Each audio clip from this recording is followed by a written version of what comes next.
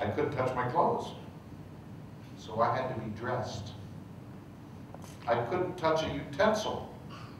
So I had to be, did your, did your mom this morning, did she put you on her knee and say, here baby, let me feed you? She did that this morning for you? You fed yourself this morning. Did your mom dress you this morning? Did she come and put your, no. I, I had, I was like a baby. I was like that beautiful baby in the back of the room, back there, who still needs to be dressed and fed and stuff at that point. I was like a little baby. I was a big man. I was a big man. I've been a Marine. I drove a cable car. And now people have to do everything. Give me a bath. Sometimes I didn't like it. Sometimes I felt sorry for myself. And I was able to walk. The good news was I was able to walk. So I would go outside and start walking along the streets in San Francisco and get stronger and better and healthier every day as I walked. So that was the good news. And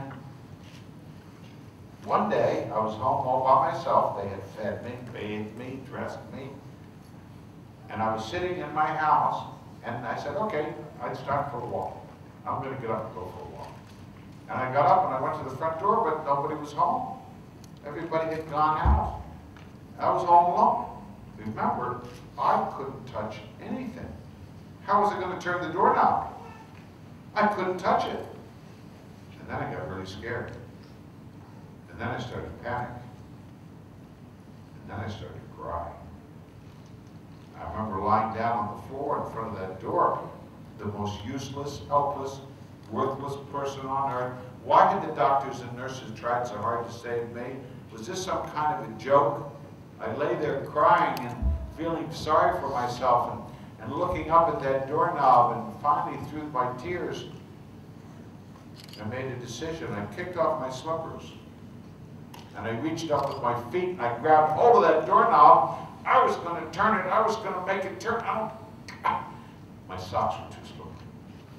I couldn't get a grip on the doorknob. It was one more loser, one more wasted effort, one more moment that wasn't going to work in my life. And all of a sudden the door popped open. And I let myself out of my prison that I had made for myself. And I discovered one more limitation in my life that was only going to last as long as I let it.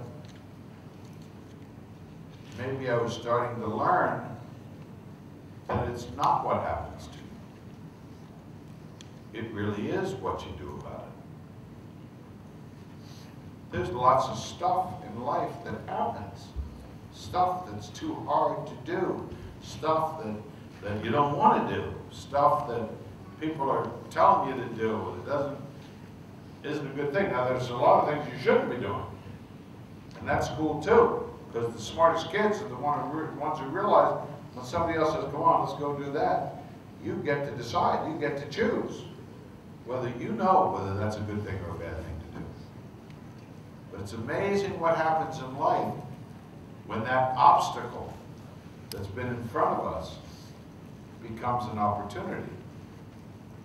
And when we decide, as you heard Catherine say a little while ago, the longest journey begins with single step.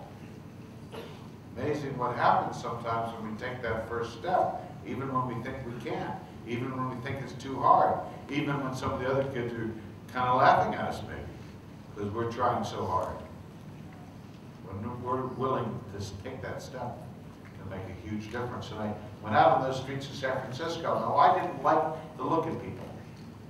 I had been burned. My face was a mess. My face looks a lot nicer now than it used to look, not long after I was burned. And people would look at me, and, and I didn't like it, so I looked away, and I'd always look down at my shoes. And sometimes when kids your age would come towards me, I would turn around and go in the opposite direction, because sometimes kids like you are a lot more honest than grown-ups. Sometimes you ask the questions with your lips. But one day I was walking along those streets of San Francisco. It was after school, and a, and a kid was coming towards me, and she could have been you.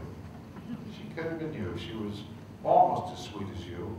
and you were coming towards me, you had your book bag, your backpack, whatever you had, and you were coming towards me on your way home from school, and, and I was looking down at my feet because I didn't want to look at anybody, and I was especially afraid that kids might ask a question. And I looked up just for a second, and before I could look away, our eyes met. And you know what happened? You smiled. You gave me the, just almost as nice as that smile just now. You smiled at me. You didn't say, here's my book bag, here's my lunch money, here's all my stuff. You just smiled.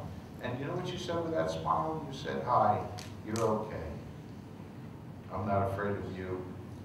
You seem like a nice person, and I wish you well. That's all you said with that nice smile. And imagine how that papaya seed made me feel. Imagine that seed planted in my heart. And I continued along the streets of San Francisco, and I wasn't as afraid to look at grown-ups or kids anymore. And I continued along, and a day later, a week later, I don't know what it was, it was after school again, and, and, I, and I was watching a boy coming towards me, and he was a young guy. It could have been you, the boy with the camera back there, you good-looking guy. And, and you were coming towards me, and I wasn't as afraid now. And as you came towards me, I was kind of watching you because you looked really cool. And inevitably, our eyes met, and I smiled first, and you smiled back. And both our lives changed because more seeds were being planted